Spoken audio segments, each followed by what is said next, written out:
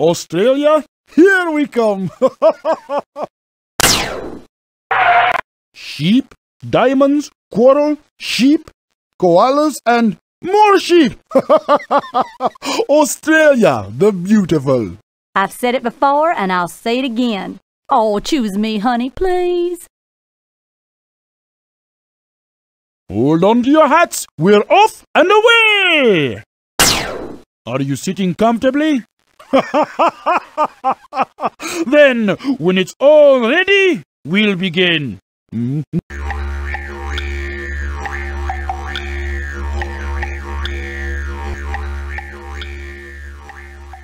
Once, long ago, in the dusty outback of Australia, there lived a band of bunyips who ate unsuspecting human beings that had fallen for their silly tricks. The leader of this horde was a mischievous bunyip named Yeri, who grew tired of eating thin, stringy people. Listen up, dunderheads! It's time for a change!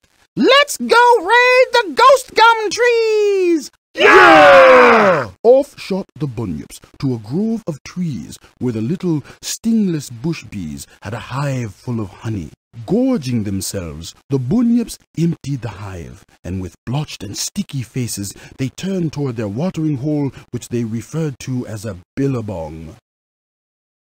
Ah, Gary, there's no water here. How are we gonna wash up? Yeah, you blockhead! Noodle face, you stupid yip! Shut up! Barked Yeri as she racked her brain for a way out of this mess. Then she heard a strange noise. There, across the billabong, slept the rain spirit. He could fill it up in no time. Yeri raced over to the sleeping ancestral spirit and shook him. Hey, you big bag of wind, wake up! But nothing roused the spirit, and the impetuous Bunyip soon resorted to drastic measures. Grabbing a deadly tiger snake by its tail, she threw it at the rain spirit. Landing in his ample lap, the snake bit the rain spirit on his ghost-like tummy. Oh! cried the spirit, waking up in pain and surprise. The flesh around the bite turned blue, and the rain spirit writhed in agony. The bunyips turned on Yeri. You dipstick! Look what you've done! You better find an antidote, quick! Yeri searched high and low, but alas, she couldn't concentrate. Antidote! Antidote! What's an antidote look like anyway? Someone here by the billabong can help Yeri find an antidote. Do you know who it is?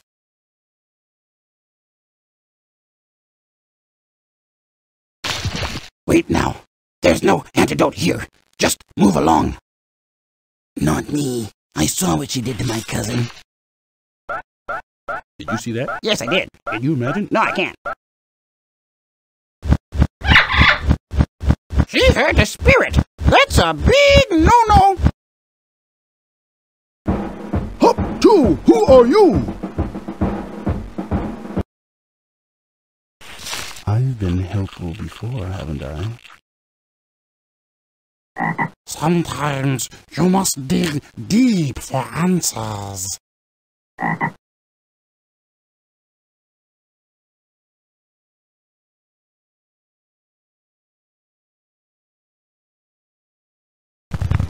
Psst. Bunyip, you got an idea? What? Who said that? The voice of a tunnel web spider is quite soft. It was a moment before Yeri realized the spider was clinging to her forehead. You're not gonna find an antidote in Australia. The only place they got that stuff is in India. India? But that's across the ocean! So, come on. The little spider scurried over to his tunnel. I've been to India lots of times. Here, follow me. And with that, the spider disappeared down the hole, followed by Yeri, whose personal motto, like all bunyips, was, Leap before you look. But the buoyant bunyip soon regretted her haste, for spider tunnels are dark and deep and filled with the most ghostly noises. What, what's that sound? Ah, the, uh, the ancestral beings. They live down here, you know, waiting to rise again. Just be nice to them. They'll be nice to you. The basic rule of thumb worked for the spider, but the bunyip was another matter, for she had harmed the rain spirit, and his underground brothers were angry. Yeri, Yeri, Look out! The spider cried as a snarling wombat spirit chased them up one tiny corridor and down another. Finally, Yeri spotted daylight. This way! Come on! As they scrambled out of the hole, the wombat's paw caught one of the spider legs. Oh, help! The spider cried as the wombat spirit dragged him down the hole and back under the earth. Spider? Spider! My one true friend! Tasting grief for the very first time, the bunyip soon fell into a depressed stupor. What am I doing? Where am I? The bunyip looked dully around, wondering where she had emerged. Do you know where Yeri is now? Can you help her find out?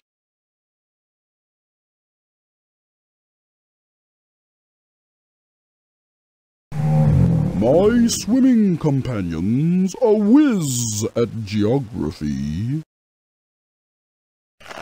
Don't have a clue, I'm just passing through. We're definitely north of Bolivia. Where are we? Uh, it starts with an M, that's all I'll say. My, my, my. Must we ask so many questions? Hi! Hello there. I have no idea what you mean. We are in North America, are we not? We most certainly are.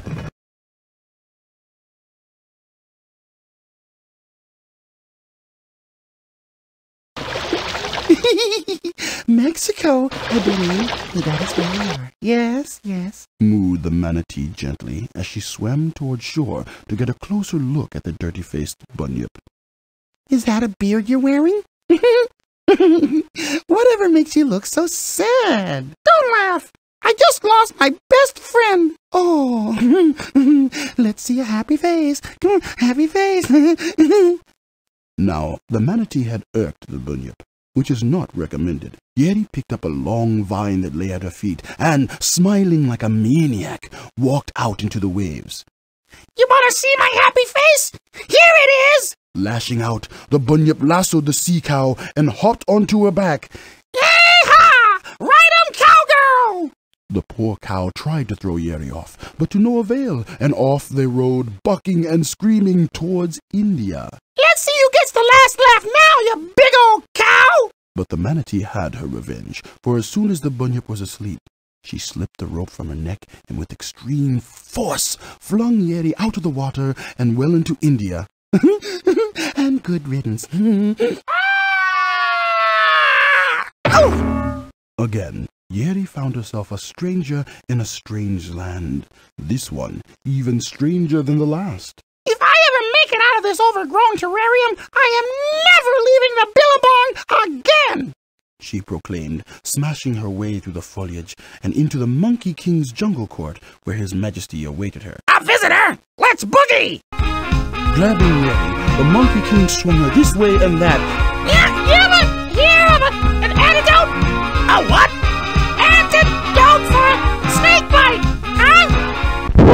snake bite, huh? Snake bite?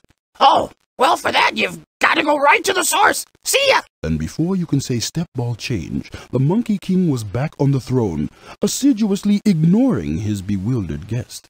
Yeri pondered the last words of her host. I must go right to the source? Hmm. Do you know what the Monkey King meant? Our sticky bunyip could use your help, but look out for the big mean rhino.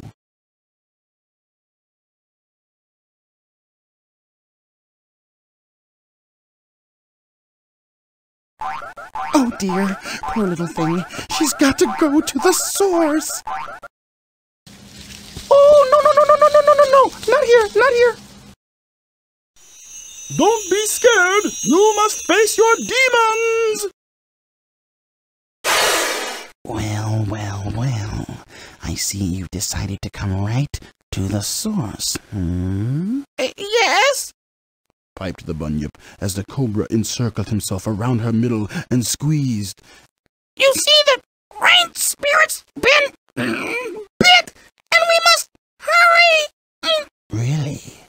Well then, Lay this on the wound, and it will suck the venom out. Yeri grabbed the paste and raced through the jungle, tripping on some undergrowth and landing face first in the dirt. But there, right in front of her nose, was a hole in the ground. She eyed her best travel option with suspicion. Anything could be down that stinking hole. Anything is. She took a wild leap and dove into the ground, crawling on hands and knees through a maze of tunnels. She dared not look behind her. But it wasn't what was behind her that should have worried the bunyip. Turning a corner, she stopped suddenly. In front of her lay an angry wall of ancestors. There you are. We've been expecting you.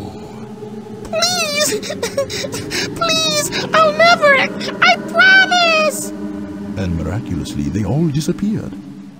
Yeri turned round to find out why. There stood the most imposing spirit of her old friend, the spider.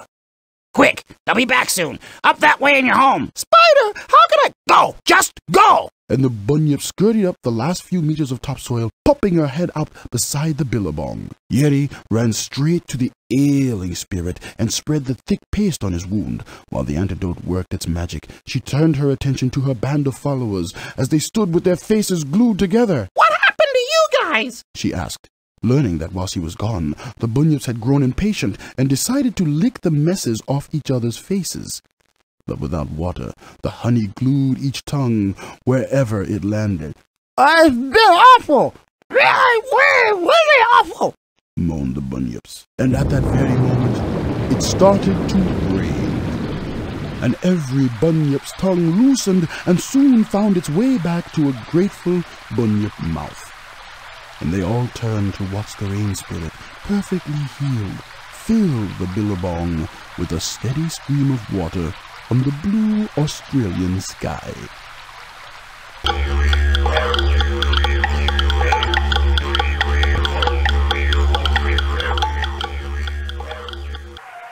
Yippee for the bunyip!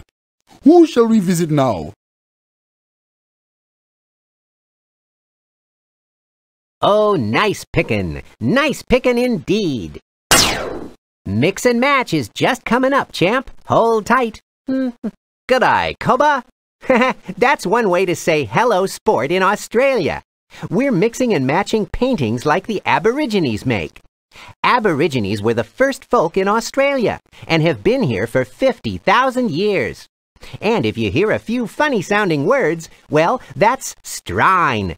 And it's how some of the local Aussies speak nowadays.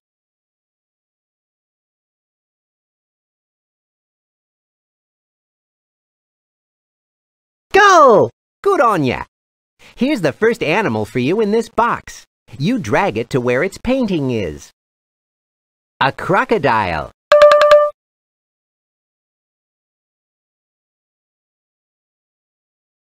A kookaburra. Nicely done. A goanna. Only four left. A koala. A platypus. Two left, nearly there. A barracuda. A wombat.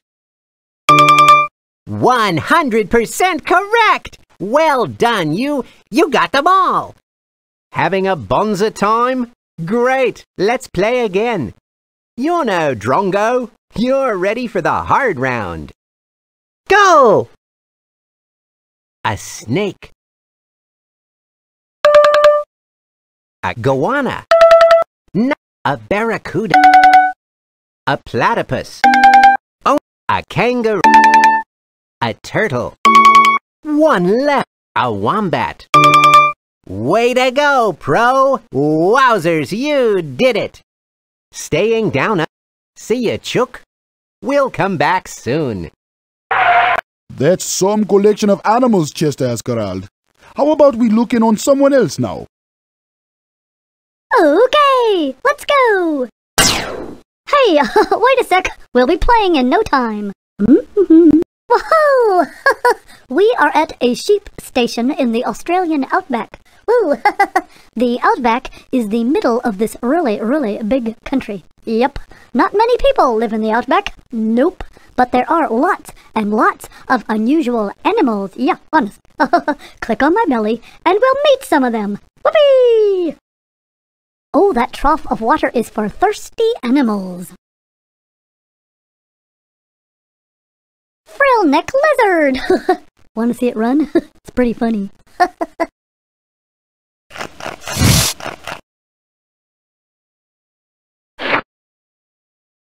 This is an echidna, an egg-laying spiny anteater mammal.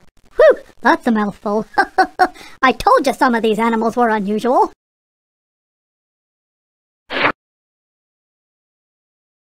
Frilly lizard! that's to make him seem bigger than he is, yeah, when he's scared. Termite mound. Ooh, that's creepy. Termites live there. But who else? Hmm?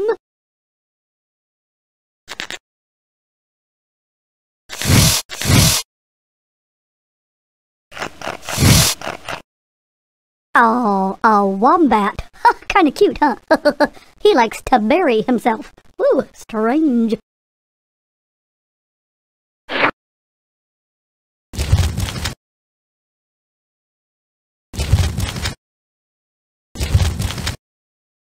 Boomerang. Kinda curvy stick for rounding up animals. and guess what? It comes back when you throw it. Yep.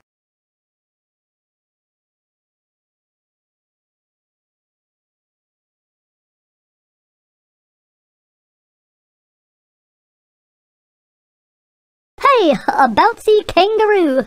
cool. Hey, he likes to box. Kookaburra. Funny name. Want to sit in the tree? Yeehaw! Mr. Cowboy. he likes to shear sheep.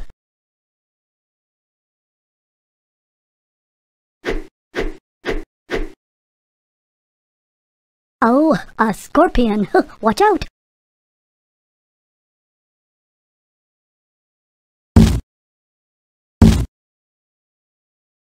Ah, get away with you.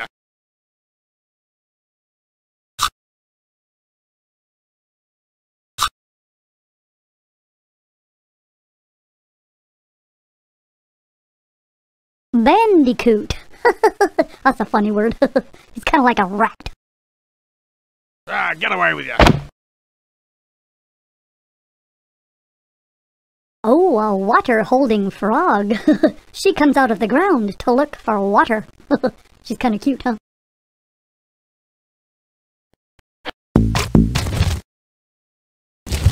Wanna herd something with the sheepdog? Whoa!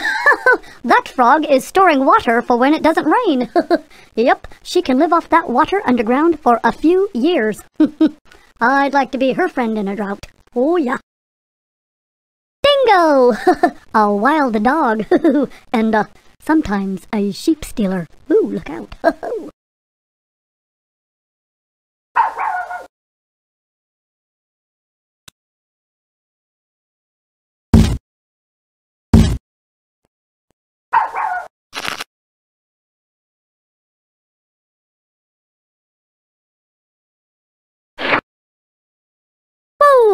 A sheep dog. He's a good sheep herder. Yeah, nice doggy.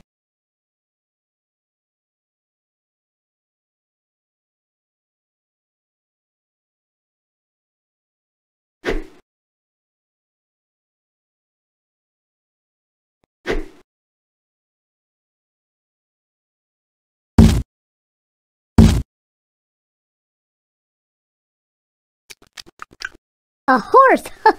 the cowboy's horse, I bet. Go, girl. Giddy up. Go, girl. Giddy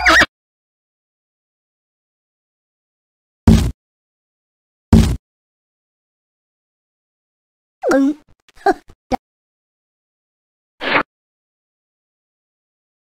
Neat! A straight boomerang. what do you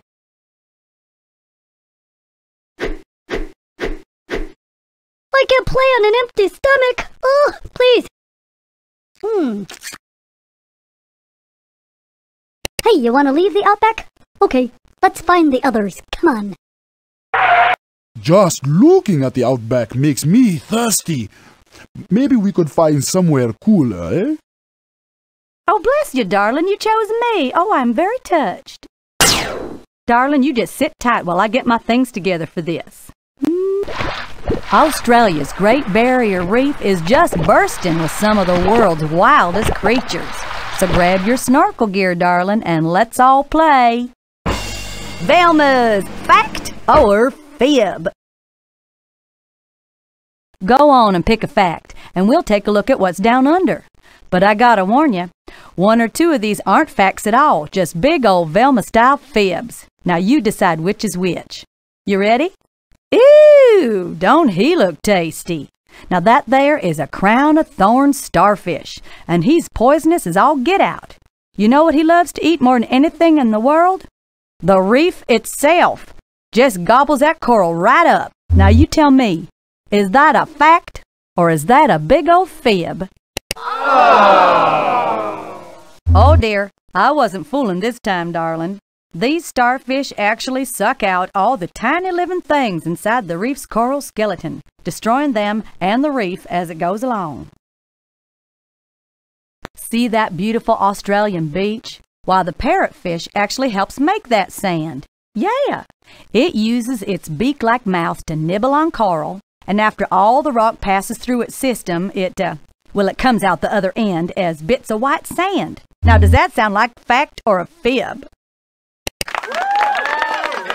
You are absolutely right. Yeah. There really are parrotfish and they really do eat coral. Fact, they eat so much coral that one little parrotfish can poop out one ton of limestone a year. now that's a whole lot of sand. My goodness. Here we have your green sea turtle. These gals spend their lives at sea and only come ashore to lay eggs. Now they're so persnickety about where to lay those eggs, they'll sometimes swim up to 1,200 miles just to find the perfect beach. Now what's your verdict, honey? Am I facting or fibbing?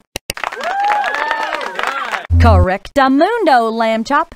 And when those mama turtles do find just the right beach, they go ashore and lay up to 200 eggs in one sitting. Pick a fact. This here's what you call your Portuguese man o' war. You see, that big thing sticking out of the water is filled with air to help him float. And he drags along those huge poisonous tentacles to catch fish and other sea animals. Now, what do you say? Is that a fact or is that a fib? Ah! Whoops, oh dear. You may not believe this, but it's true. And not only that, these man o' wars shoot out teeny tiny barbs from their tentacles that are so poisonous they could kill a person. Or a pig, for that matter. Go on and pick a fact. These fellas are called sponges. They swim around in big schools, and they act like a natural car wash for fish who happen to swim through 'em wiping them down, cleaning their scales. Oh, most fish come out of a school of sponges squeaky clean. Now give me your opinion. Is that a fact or is that a fib? Oh, oh honey, I got you this time. Sponges are animals, but they don't swim in schools and they don't clean other fish. No, no, they live attached to rocks on coral reefs and feed themselves by filtering tiny bits of food from all the water that passes through 'em. Pick this good looker's called a sea cucumber. And if I were a fish, I'd think twice about going after him. 'Cause you know how a sea cucumber protects itself? By spitting out its guts at an attacker. Now what do you think, Pumpkin? Am I serving you up a fact or a fib? Oh, it does sound like a fib, don't it? But it's not. Why, the sea cucumber's guts even look like spaghetti and are covered with poison to confuse and entangle its attacker. Stranger still, it actually grows a whole new stomach once it gets away. Click on any picture and off we go. Oh, glory, oh my, oh my, a reef full of facts and I'm all washed up. So what do you say let's head for the beach and dry off and join the others? Velma, your knowledge knows no boundaries. Okay, my friend, please choose another activity, eh? All right, let's check them out. Hang on, please. We're just getting ready. Hmm. Some days I like to imagine I'm a different animal, and there's plenty to choose from in Australia. Would you rather be a cockatoo or an emu? Or maybe you would like to be a kangaroo? There's lots of funny animals out in the bush who live in the land down under. Would you rather be a wallaby or koala? What do you think of that? Perhaps the crocodile is the one that makes you smile. He lives in the land down under. On the land, in the sea, down a hole or up a tree. We're living in the land down under.